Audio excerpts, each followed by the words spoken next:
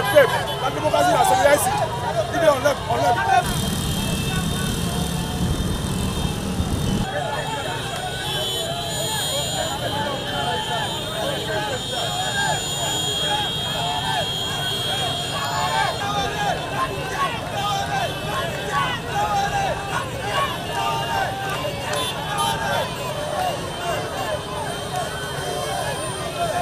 Thank you.